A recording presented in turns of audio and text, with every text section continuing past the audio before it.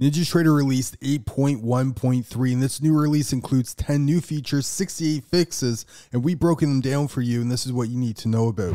Okay, bug fix number 11979. Now, before I begin, someone did ask me in the last video if these numbers are real. Yes, they are real. You can actually go to the release notes and refer to them. Also, if you're talking to NinjaTrader support, you can mention these numbers and they will make sense of them for you. So the issue here was trailing stops submitted in their web trader did not show proper price adjustments on the desktop. So obviously it's a good thing to ensure consistency across the platform and enhances, you know, the user's experience. It also prevents potential confusion, trading errors, that sort of thing. 11989. So the target filled sound was missing. Target filled. This has now been fixed and it's there. So obviously a good thing because you don't want to miss any trade cues. You want to be able to react to the trading environment and be able to make decisions quickly. And so therefore we need that sound file there and glad that's been fixed. Now, if you're glad you don't have to go through all these release notes to find these things, slap that like button. Let me know you appreciate it. We'll also let others know about it too. 8255. So if you use ATMs, this is important because the stop strategy changes were not being reflected to save ATMs. This is now fixed. Now this should be obviously, you know, important to you because you don't want any unintentional trading outcomes because of it. Now the last 3 bug fixes were all to do with ATMs. Now, if you have not used ATMs, you really should be because they can improve not just your efficiency, but your trading. Having something automatically move a stop to break even or doing any number of tasks automatically for you can really save you. In fact, I know people that solely use the NinjaTrader platform because they understand how to use ATMs. Now, we're going to be coming out with a full course on ATMs, totally free. It's going to be on the YouTube channel. Make sure that you are subscribed if you want to get that, as well as we have a whole bunch of other courses that we're going to be releasing that are going to be pretty much full length deep dives into a bunch of different trading topics. 4219. Okay, so I'm pumped to see this fixed because this has affected me. I didn't even know it was affecting me. It's probably affecting a lot of you guys that use macros. Okay, so think Stream Deck, mouse, keyboard, anything where you might change time frames quickly based off of those uh, hotkeys, anything like that. If you do it quickly, and let's just say you jump from one time frame to another or one chart to another, if you are reloading historical data quickly in quick succession, you could get into a hung state. Now, obviously, that affects the system stability. So I'm super glad to see this one fixed. 12510. Now this is important because you again one of those things you didn't know affected you, but there was a, a there is a UI.xml file in your NinjaTrader folder and it holds a lot of customization settings. Now this file would prevent NinjaTrader from starting if it got corrupted. I'm not sure how it would get corrupted, but if it did, then your NinjaTrader wouldn't start. And there have been a few people that mentioned to me, I can't get NinjaTrader starting. I don't know why. And you can delete this file and it will just rebuild it, but it's going to rebuild it with all those customization settings being included. So I'm glad to see that this was fixed. 7165. Now there's a demo box option in the configuration of Continuum or CQG. This has been removed, and that's because demo box uh, demo accounts are no longer offered by them. So it, it's going to be something where you're going to want to know where to get data from and where to get demo accounts from and how to get that. So there is some interesting ways to do this that most people don't know about. We're going to be coming out with videos on those too, so make sure that you are subscribed for those. Um, specifically around uh, getting FX data and not having to pay for it, and how you go about doing that without having a multi-provider fee and all that. So stay tuned for that.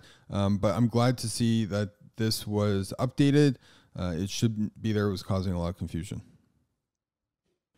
12222. Now, this is removing a third party add on could cause an error for other indicators.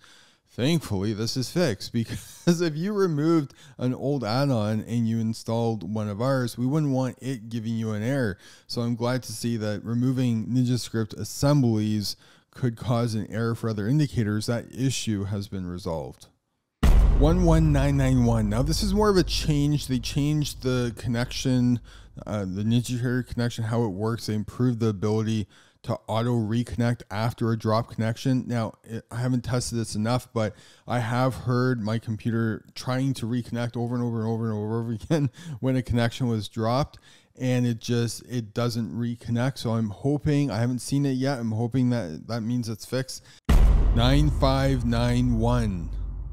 Okay, in this one they have resolved an uh, a crash, I guess that would happen when a computer was brought out of hibernation mode. I don't know if there's a specific scenario, but there was some sort of trigger that would cause Ninja NinjaTrader to crash when coming out of hibernation mode. This has been resolved. 14037. I guess there was a problem with some people using their Google accounts to sign into their NinjaTrader platform. Some sort of scenario that Google wasn't working, the sign in wasn't working at all times.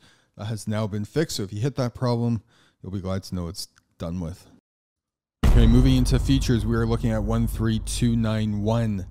Now, this has to do with a chat option being put into the control center of NinjaTrader. I like that it's there. I don't like the location of it. Please move it underneath the help menu. Interactive Brokers has it this way. A lot of other places do as well. If you are wanting to use the chat, it's because you need help. So I understand the logic probably from management side of why they put it so in your face. They want to do good customer support but I think it should be moved underneath the help menu.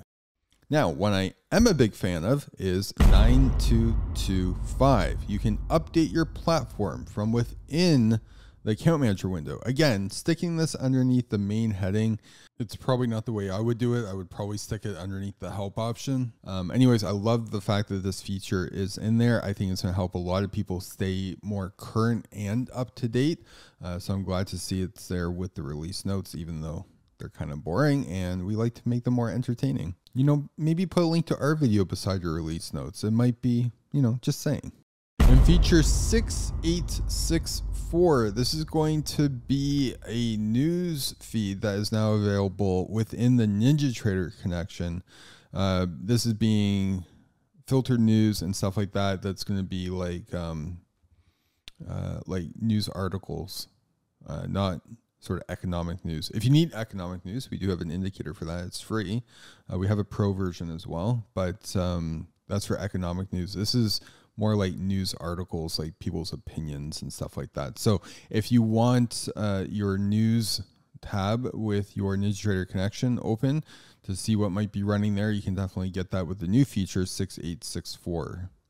13037. Now, this is an additional column in your accounts tab that will show you more to do with your account risk. So, this is, you know, probably pretty important. Um, it's going to be something that you'll probably want to have up there. I don't know if it's a default thing, but I do think you should look at your accounts tab and make sure that all the columns you have active are there. So I know most of you guys don't do this, but I'm going to challenge you to whack that thumbs up button just so that this video can get out to other NinjaTrader 8 users and we can let them know about all these bug fixes and features that have come out because a lot of people might not even know a release is out by now. And we'll get more of these done for you.